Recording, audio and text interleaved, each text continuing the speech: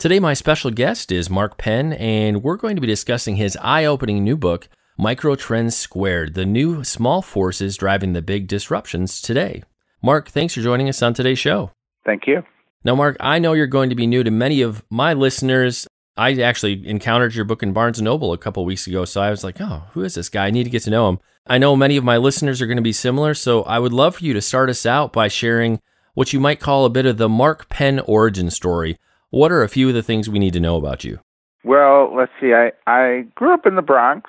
Uh, uh, my my dad unfortunately passed away uh, when I was ten, so mostly it was it was me and my mom, and uh, she believed in education, education, education, and uh, and and I think that helped me and my brothers get a really excellent education. And I, I wound up starting out. I was going to be a lawyer, but then I switched to uh, to polling, polling for candidates, and then polling for corporations, and kind of grew my company, and then became head of a PR firm, Burson Marsteller, and then chief strategy officer and head of advertising at Microsoft. And obviously, in the interim, I, I did work on, you know, both Bill Clinton's uh, 96 presidential campaign and worked with Hillary through 2008 and got to work with Prime Minister Blair. So I've had a, a really, uh, you know, from when I grew up, very simple uh, origins. Uh, my dad had not did not go to college. Uh, uh, would, would to to really I think get to enjoy helping in some of the highest levels of business and politics. Wow, that's a, that's a very diverse resume. Thank you for sharing that. I'd be curious to hear a little bit about when did you first discover you had a knack or interest in trends and polling? Is that something you saw early on, or was that something you encountered when you made that switch in college? Well, uh, actually, it was always kind of my hobby. I, I watched a TV show on uh, it was actually on race relations in America, and they had a poll, and I said, "Oh, that's really interesting. You could you could find out what people are thinking by doing these questionnaires." And so I did it at, at I copied the the poll and replicated it in my school. I was maybe 14 or 15 or and uh I had my first poll. My teacher sent it to me and then I I I mimic, you know, I put then we mimeograph things, you know, uh the results and from that I was just hooked. This is incredible. And then and then I I, I did it at college. I, you know, whenever the administration like they had a whole housing system and they wouldn't tell people what was popular, so I went to the dining rooms and did polls and and uh, and finally uh, people knew that I was like a poll junkie. And uh, a, fellow Doug Schoen approached me and said, "I've got a summer job in in politics. Could you could you maybe show us how to do polls?" And that's how we off to the races we were. Awesome. Well, I love that this is uh, talent, kind of a drive that's been in you from an early age. That's really wonderful. Now, for the benefit of the listener, say, you know, again, who's encountering you for the first time in our conversation today, explain what you mean when you use that word micro trend. What's the specifics around that? Well, you know, it, it's very hard to figure out what's going on in our society because it, it, it seems to be pulled in so many different directions. And I think the big reason is that under the surface, there are lots of trends and counter trends, in fact, pulling us in, in different directions. And think of an impressionist painting and and it's made up of dots. Well, the microtrends are the dots, usually small, developing trends, maybe one percent or two percent of the of the population. And yet, you know, the you know something like uh, the DACA recipients can can it's eight hundred thousand people, but it's a, created an enormous political movement, or even in the last uh, election, 75,000 uh, people, mostly old economy voters, as, as I point out, really swung the election. So understanding that it's not just a broad brush that, that explains society, but really these hundreds of small microtrends. And then if you read the book, I've picked out 50, but, but learn to do it yourself because it will help you, I think, in, in life and uh, in business. Another thing that you point out in the book is that we're at a time where we have seemingly unlimited choices. Would love to have you talk to us a bit about how has this abundance of options surprisingly resulted in people actually making fewer choices. This one surprised me a little bit. Well, uh, I think this is the biggest change between I wrote a book, Microtrends, 10 years ago, and when I look at how society changed today. In Microtrends, I said, look, we're going to have a world of choice. You go into Starbucks and there's 155 different varieties of something as simple as coffee. This is going to be incredible. So you fast forward 10 years and people go into the Starbucks and they say, "Oh, give me the regular."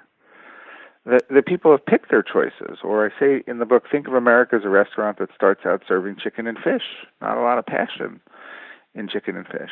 Then you add steak and sushi, and the steak eaters eat steak every day, and the sushi connoisseurs eat sushi every day. And so the fact that I've given you more choice actually results in you finding something you like so much you choose it every day, so you ch- stop making choices. And then think of that in news, think of that in, in how you buy things. And what I thought would be a world where everybody would be experimenting all the time uh, it, it can turn out to be quite the opposite, and then we get more divided and more niched. And and I think I think we have to figure out how to mix it up a bit more.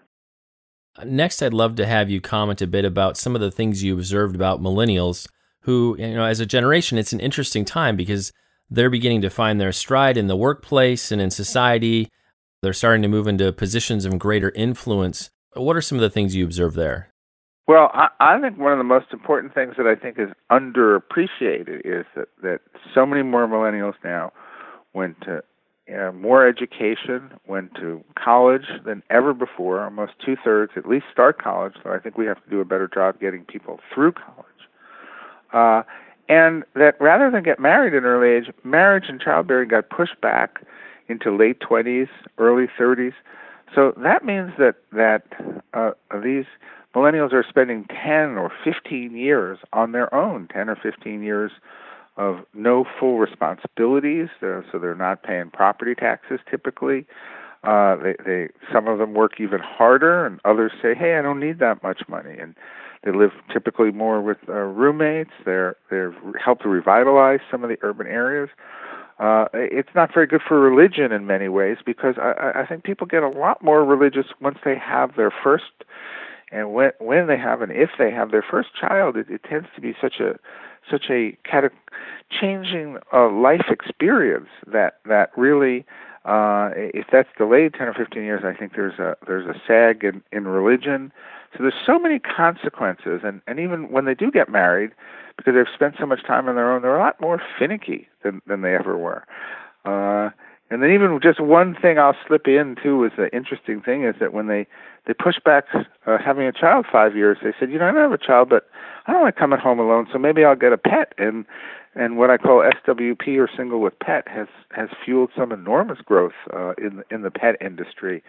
Uh, and that pet does just great until the first child does come along, in which case, move over that that pet needs a psychiatrist. Yes, the pet no longer has free reign of the house, unfortunately. Talk to us about some of the things that have have emerged from our aging population. You, you use words in the book like "gray power," and we're seeing kind of an opposite extreme. Who you know that group's kind of pushing back against some of the things that are emerging with the millennials.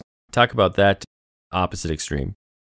Well, a principle of the book is that for every trend, there's a counter trend. So we tend to look just as we looked at kind of what's happening with young adults, uh, we look at say, hey, what's happening on the on the opposite ends. Well, it turns out that politically, seniors really now have grown so that they're a group as large, if not larger, than the millennials, uh, and uh, they have reasserted their political power uh, in, in the last in the in the last election.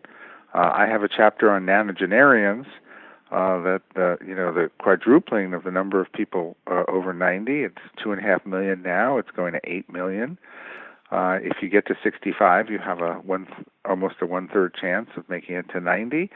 The number of home health aides and other uh, medical uh, uh, advances and monitoring we're going to need is is off through the roof.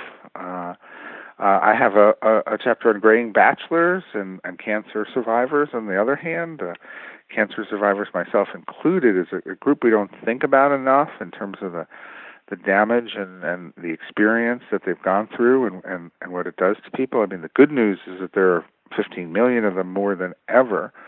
Uh, but I think in microtrends, you really have to be conscious of how uh, people change. And of course, the most fun is the graying bachelor one. That uh, you know, if you're a guy uh, 65 and single, uh, you there's a hundred single women for 62 guys. You've never had it so good, especially with internet dating, and that seniors are a little more prosperous than they than they were in the past, and uh, they're living the life of Fonz, uh, you know, much later on. So, so it's a pretty wide range in in in the book in terms of uh, in terms of trends over on the other side. Yeah, I was really blown away just by the diverse topics you cover throughout the book.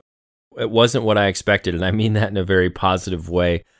Let's jump into a couple of the areas of the book that I found particularly fascinating. You had great chapter titles like Pro Proteiners.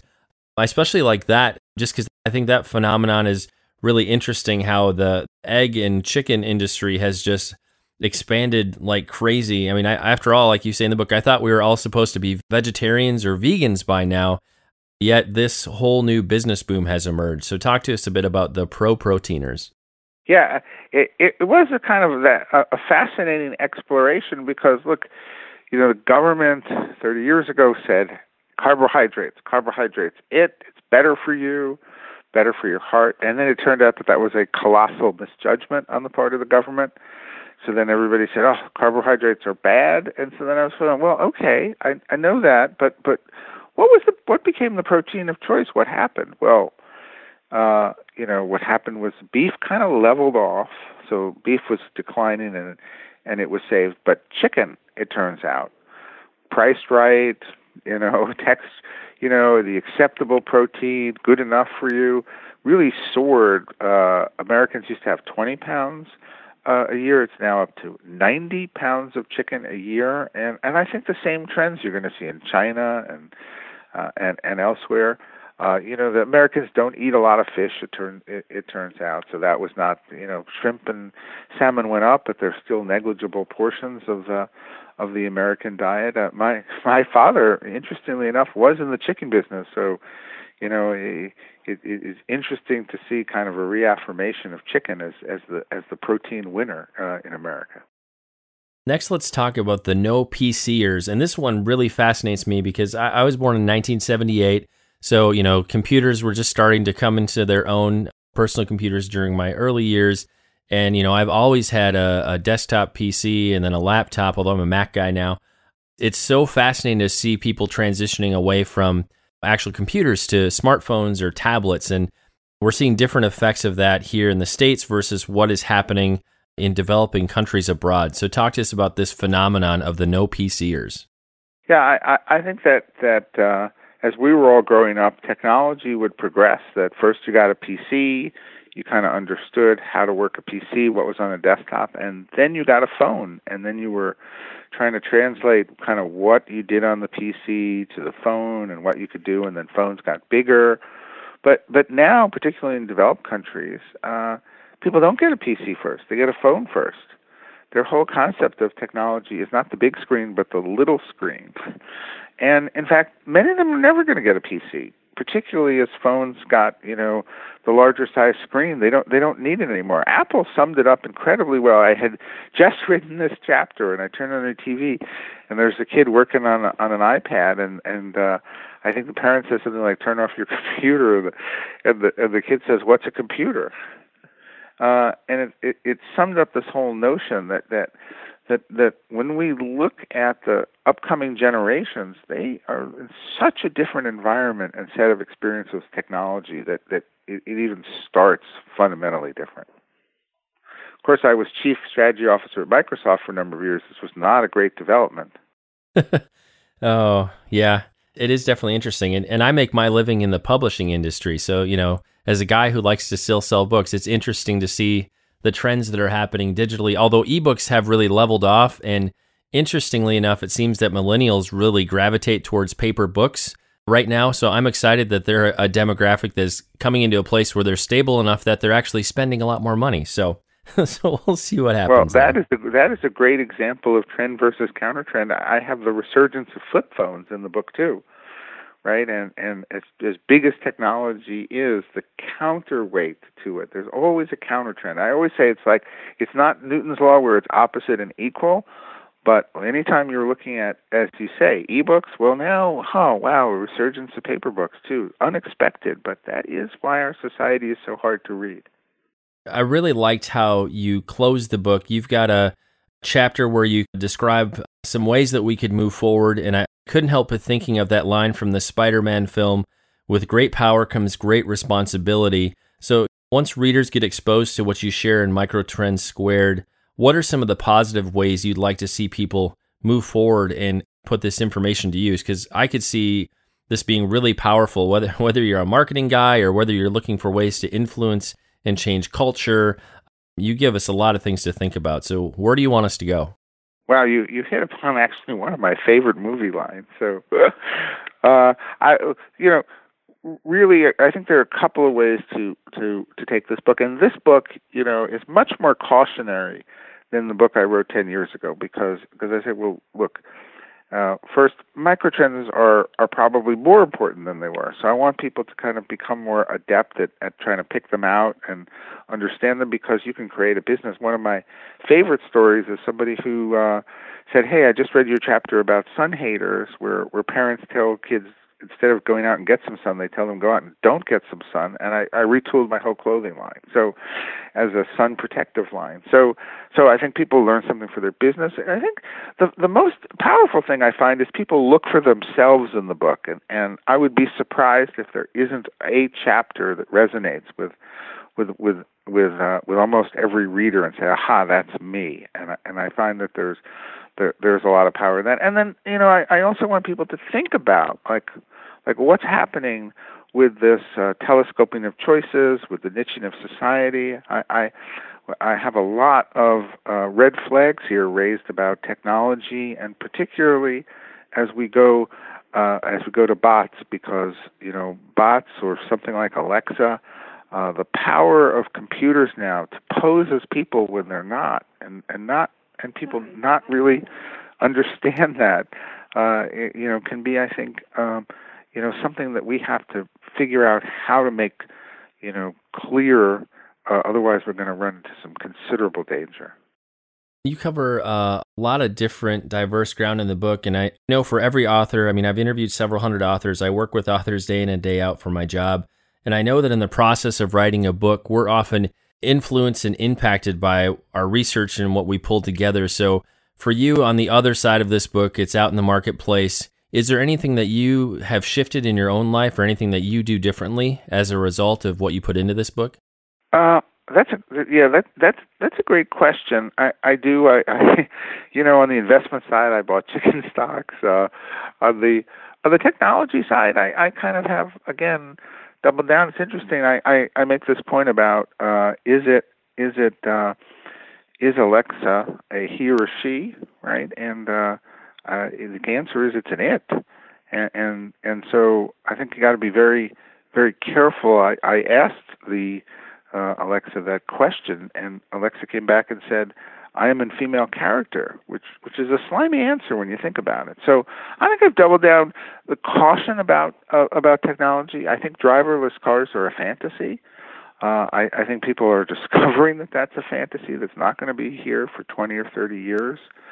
So, so I, I do I do think about whether it's a simple investment or whether it's appreciation of what younger and older people are going through, or or whether or not it's it's understanding some of the dangers. I I, I actually I agree with you. I, I have internalized the kind of research in the book. Well, and speaking of driverless cars, just in the past couple of weeks, I think we had a pedestrian get hit by a driverless car. A driverless car got a ticket the other day for getting too close to a pedestrian in a crosswalk. So, yeah, I, would agree that driverless cars have a ways to go yet. One last question here as we begin to wrap up. And you've alluded to this a little bit already, but I'll, I'll give you a chance to comment a bit more. When you look back on the publication of the original Microtrends book, what shifts in the past decade surprised you most? Uh, you know, on, on this side of it, and as you look back, what things weren't you expecting? Well, at at that time, I was hugely optimistic that the world of choice, uh, the, the growth of what I call a Starbucks economy, uh, would make people fundamentally more unified and happy because now everybody could have what they want. Nobody had to be as unhappy, and and that just turned out uh, not to be as rosy as I thought because instead people niched themselves up. They're more very conservative. They're more very liberal.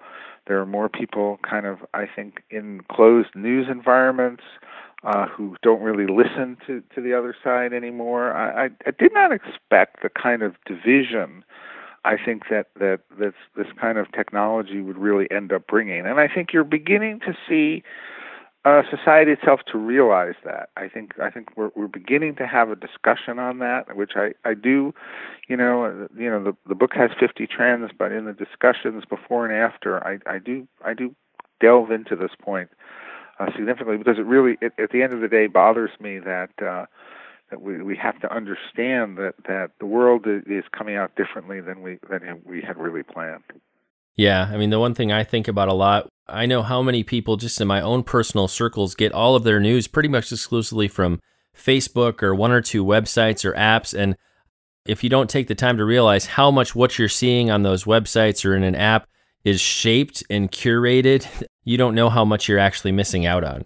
Well, and, and I, I, in the end of the book, I talk about how the political system needs reform in terms of eliminating caucuses for primaries, and and how the news system has to be reformed. That platforms like Facebook can't really sort out to anyone's satisfaction what news should be at the top because it's it's inherently an editorial judgment, and they were not set up to be editors. They were set up to be platforms uh, that that people use, and and I think this has created a lot of problems now that have to be have to be fixed. Now, Mark, if people want to connect with you, if they want to find out more about your books, where's the best place for them to see you online? Uh, I would say go to markpenn.com. Uh, it, it's easier. Uh, certainly, uh, Amazon's featuring the book, and uh, you know, I, I, I hope that they, they will connect with me one way or the other. I'm I'm usually pretty accessible, frankly, and and will respond. Well, and like we do with every episode, I'll be sure to have detailed links in the show notes, places where you can connect with Mark on his website, social media, and a range of places where you can buy the book. So when you're done listening, just head on over to shauntabatt.com and we'll have that all linked up for you right there. It's time to bring this episode of the Shaun Tabatt Show to a close. Many thanks for being a part of my conversation with Mark Penn. Once again, our book today was Microtrends Squared The New Small Forces Driving the Big Disruptions Today. Again, if you want to connect with Mark and find out more about this book, be sure to head on over to his website, which you'll be able to find at markpenn.com. And Mark, I just want to say thanks so much for sharing with us today. It's been a great pleasure and an honor to speak with you. Thank you very much.